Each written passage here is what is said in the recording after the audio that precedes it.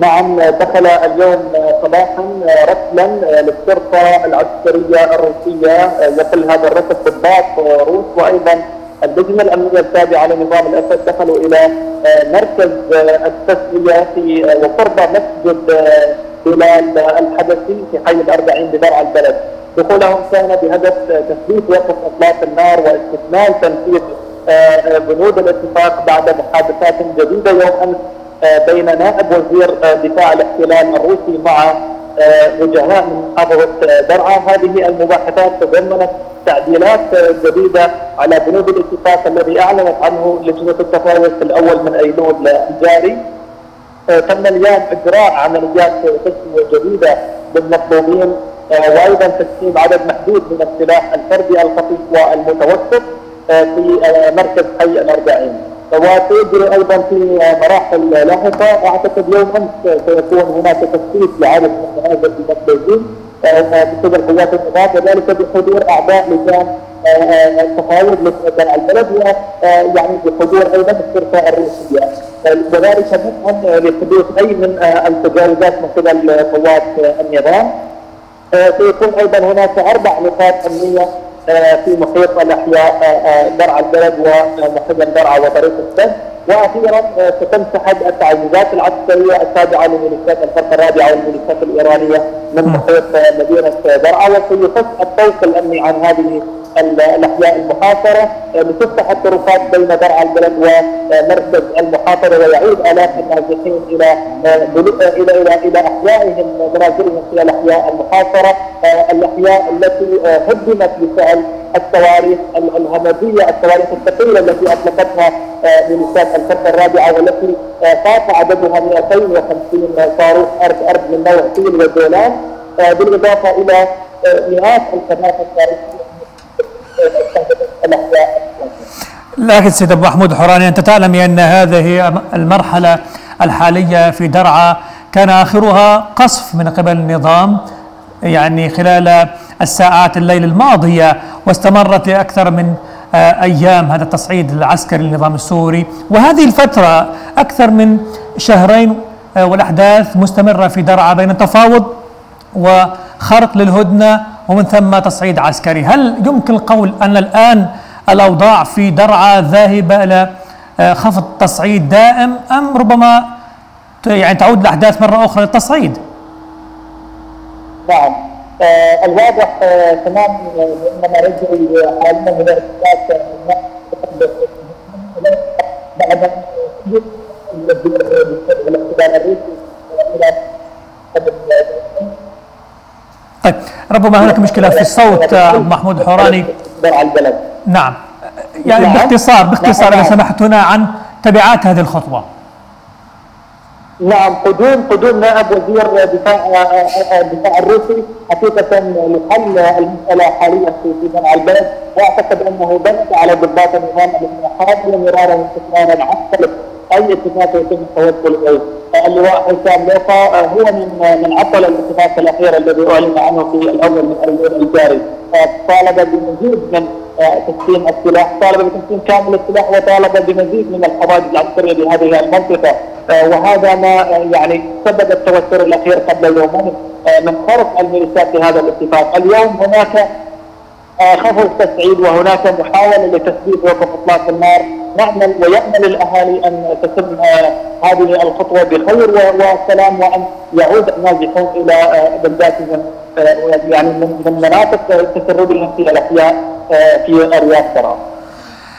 أشكرك جزيل الشكر أبو محمود حوران المتحدث باسم جمع تجمع أحرار حوران وأرحب مباشرة من غازي عنتاب تركيا بالسيد محمد السكري الباحث في مركز جسور للدراسات. سيد السكري أهلا بك معنا. إذا نتحدث عن تهدئة وهدنة مؤقتة ربما. كما ذكر محمود حوراني الآن دخلت هناك الشرطة العسكرية الروسية وهناك بنود لهذا الاتفاق الذي كان قد أبرم في وقت سابق لكن الآن يتم العودة إليه مرة جديدة. هل يمكن القول بأن المسألة قد حسمت؟ يمكن حل مسألة بالتفاوض في درعا؟ نعم في البداية تحياتي لك أهلا بكم. وأيضا للسادة المشاهدين وأيضا لضيوفك الكرام. يعني في الحقيقة مسألة درعا إلى الآن هي يعني مسألة معقدة للغاية بسبب التقاطع أو يعني اختلاف الرغبات الروسية من جهة وأيضا الغايات الإيرانية من جهة أخرى.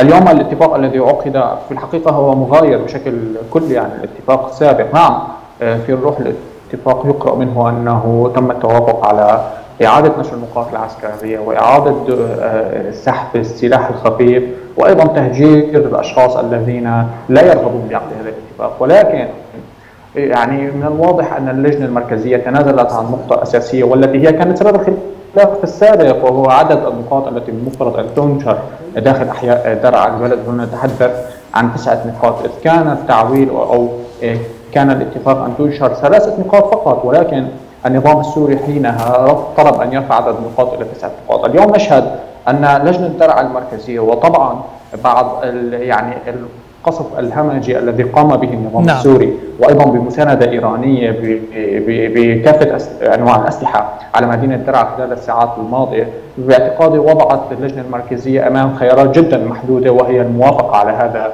الخيار الذي يعتقد لا يوجد يعني أمام هذه اللجنة خيارات أخرى أو مساحة حتى للتفكير ب يعني بخيارات أخرى غير غير هذا غير هذا الخيار المطروح أو غير هذا السيناريو المطروح.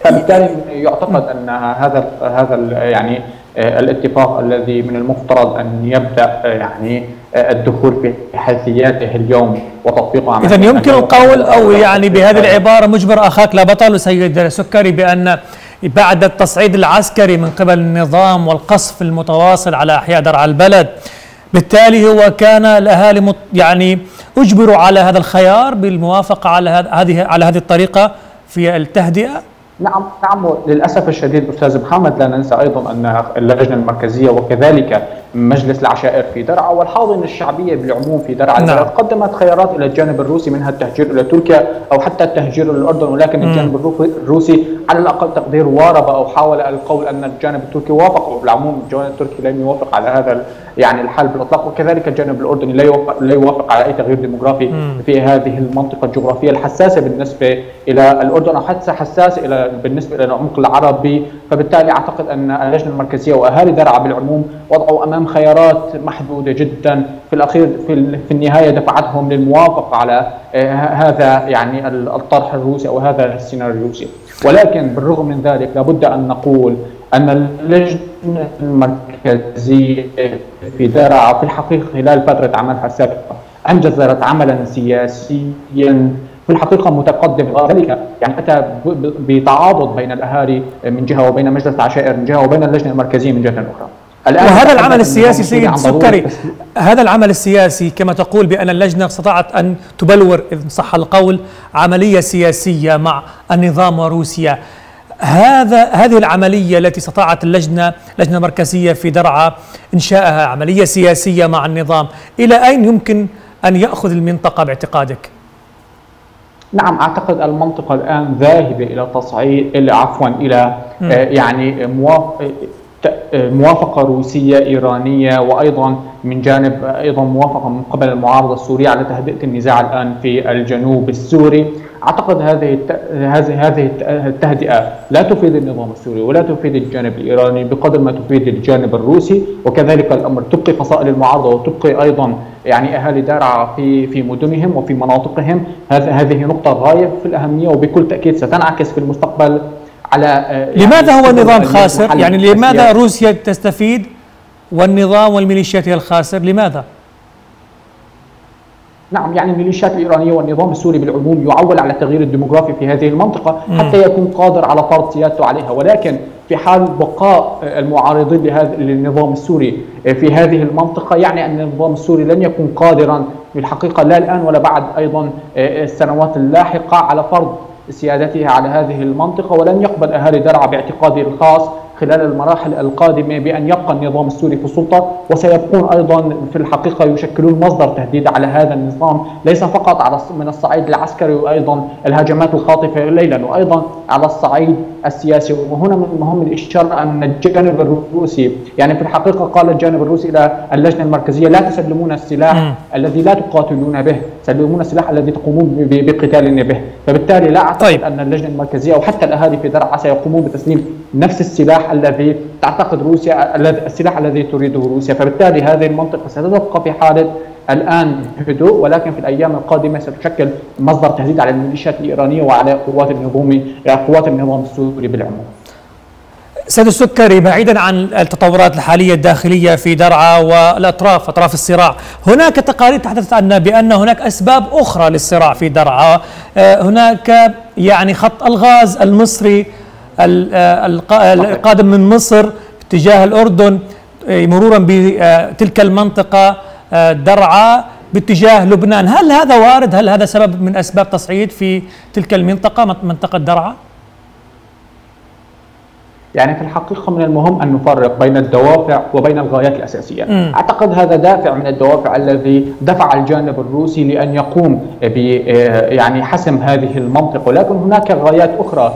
الغاية الرئيسية أن روسيا لا تريد بشكل كامل أن أن تنتصر الثورة في سوريا ولا أن يكون هناك تغيير سياسي حقيقي في سوريا لأن ذلك حتما سيؤثر على المناطق الأخرى وعلى أيضا آه، يعني آه، يعني الدول العربية الأخرى الآن الذي التي تقوم بثورات سواء في مصر أو حتى في اليمن أو حتى في مناطق أخرى كالعراق وأيضا آه، لبنان. هذه يعني الوجود الروسي في في سوريا من هذا ينطلق من هذه النقطة. بينما فيما يتعلق بقضية الغاز. نعم يعني روسيا تريد حسم هذه المنطقة روسيا أو حتى إيران تريد الحسم لتحقيق أهداف في هذه المنطقة وأيضا تثبيت الوجود النظام السوري بها بشكل عام. وماذا عن عوامل أخرى؟ يعني بالنسبة لدول الجوار أو لن نقل هنا الأردن هناك كانت مناشدة من أهالي المنطقة الملك الأردني لماذا لم يكن هناك يعني خيار أو حل أردني شاهدنا الملك زار قبل أيام وقبل أسابيع روسيا وهناك علاقات جيدة بين المملكة وروسيا هل هذا باعتقادك يساعد في حلحله الأوضاع في درعا؟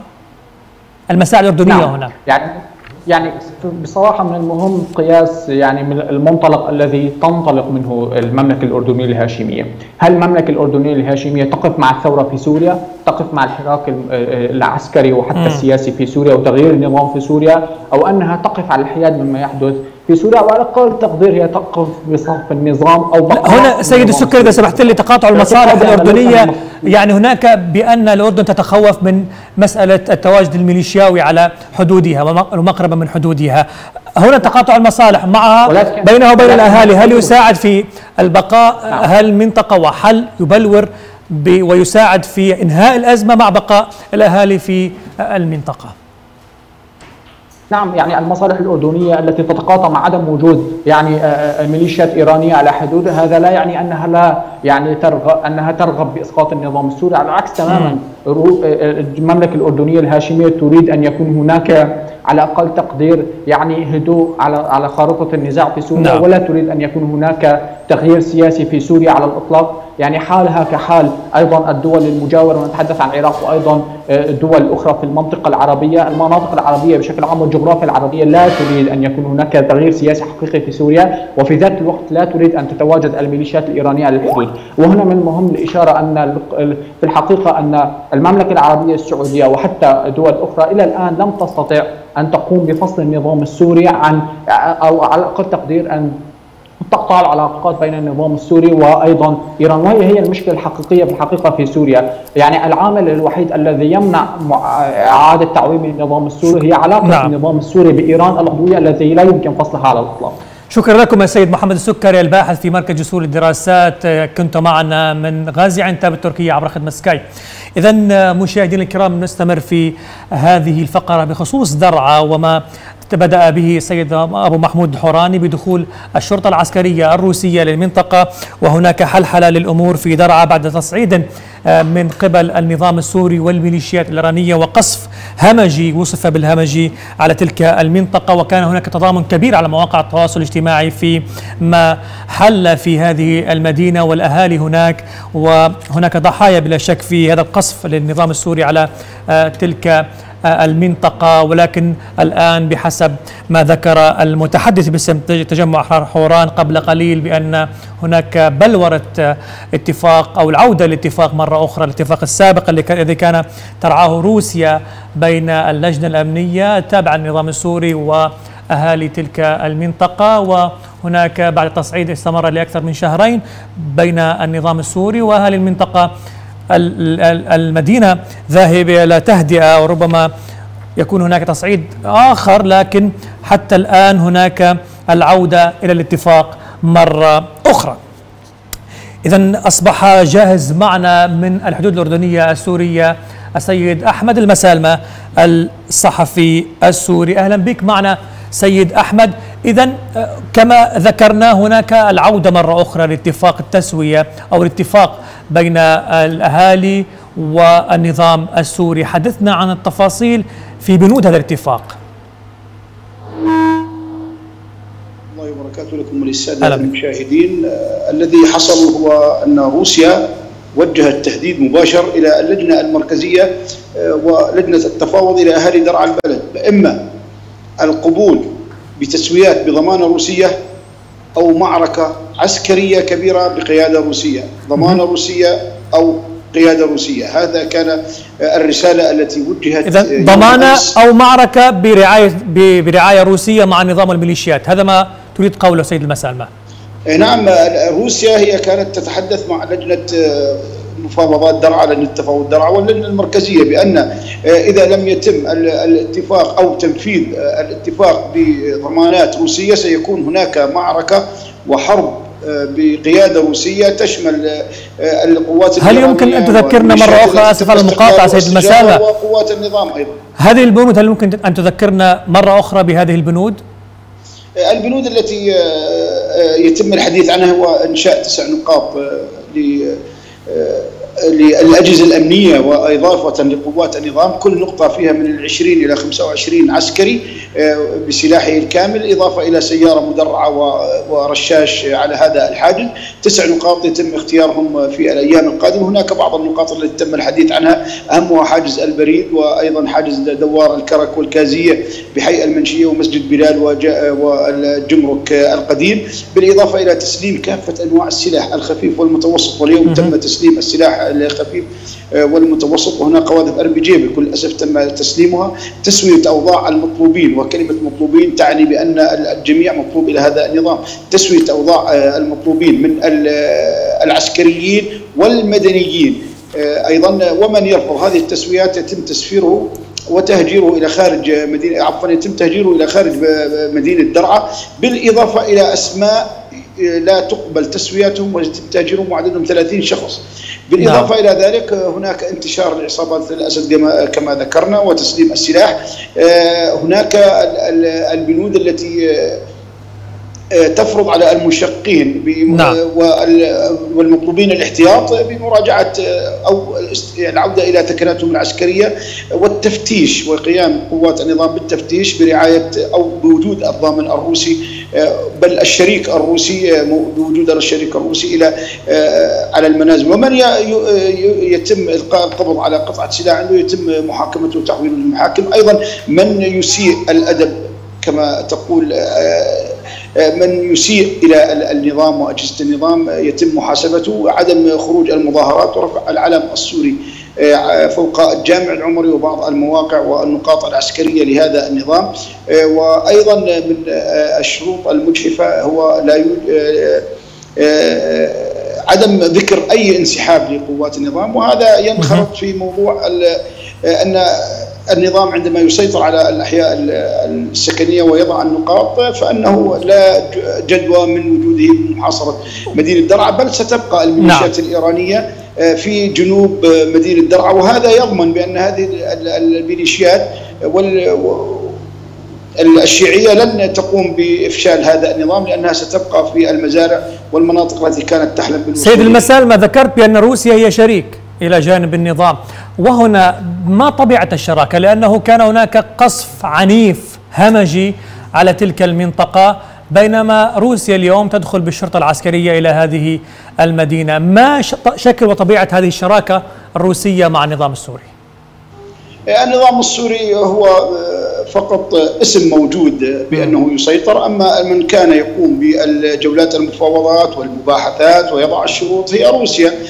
من هدد بوجود الميليشيات الإيرانية وتمكن من استجلابها ووضعها في مكانها الآن هي روسيا عندما هددت باستجلاب الميليشيات الإيرانية إذا لم يتم تسليم السلاح، الذي ضمن وجود السلاح بين أيدي الشباب هي روسيا. في 2018 والآن تخل بهذا الاتفاق وتسحب هذا السلاح الذي ضمنته روسيا بال 2018 روسيا نعم. شريك بكل شيء التي تقف متفرجة على القصف وتقف متفرجة على الصواريخ التي كانت تمر فوق رأسها في مدينة درعا هي شريكة. عندما نشاهد روسيا هي التي تفرض الشروط وتقول بأن المعركة ستكون بقيادة روسية هذا يؤكد بأنها شريك وليس ضامن وليس راعي وليس وسيط. وهذا الاتفاق والعودة مرة أخرى إلى ذاك الاتفاق يعني هل يمكن القول بأن الأهالي أجبروا على هذا الخيار؟ وليس هو بمسألة هناك مساحة يمكن اللعب فيها أو التفاوض مع الجانب الروسي والنظام من قبل الأهالي واللجنة المركزية. لو كان بالإمكان أفضل مما كان لكان ذلك ولكن هذه الشروط المجحفة تقبلها الأهالي بكل قسوة وبكل صلابة. بكل قسوة وصلابة نعم عضوا على الجراح كثيرا. وقبلوا بهذه لأن سبعين يوم لم يشاهدوا من يقف معهم إلا البيانات الرنانة والحديث ومن خرج بإعلان النصر لهم وتمجد بنصرهم من عدة أيام. وهم يعلمون ذلك تماما بأنه أثر عليهم كثيرا. لم يكن هناك خيار أمامهم إلا ذلك. نتيجة هذا العظمة بهذا القصف العنيف 76 يوم من القصف. إلى هذه نعم. اللحظة لم تفتح المعابر. والوضع الإنساني الكارثي الذي حصل والتشريد الأهالي هنا وهناك وعدم وجود أي بديل للطلقات التي كانت تخرج واستنزافهم بحرب استنزافية استمرت 70 يوم أدى إلى هذا الوضع. نسأل الله السلامة للجميع. قدر الله ما شاء فعل. اللهم آمين لكن سيد المسالم أخيرا معك بالجانب الإنساني هل تعتقد بأنه ستحل الكثير من المسائل الإنسانية والأزمة الإنسانية في درعا بعد هذا الاتفاق؟ ستحل الأزمة الإنسانية كما هي موجودة الحال في باقي المناطق لا خبز ولا كهرباء ولا مي. هذا هو حال در... مدينة درعا وكل المناطق التي يسيطر عليها النظام. الوضع الإنساني في الشمال السوري أفضل من الوضع الذي تسيطر عليه قوات النظام في سوريا. هناك طوابير الغاز وطوابير الخبز موجودة الطحين غير متوفر ولا يوجد محروقات بمحطات المحروقات وكان الله بعون الذي لا يحمل بطاقة إلكترونية في سوريا على كل حال أشكرك جزيل الشكر سيد أحمد المسالمة الصحفي السوري. كنت معنا عبر خدمة سكايب من الحدود الأردنية السورية.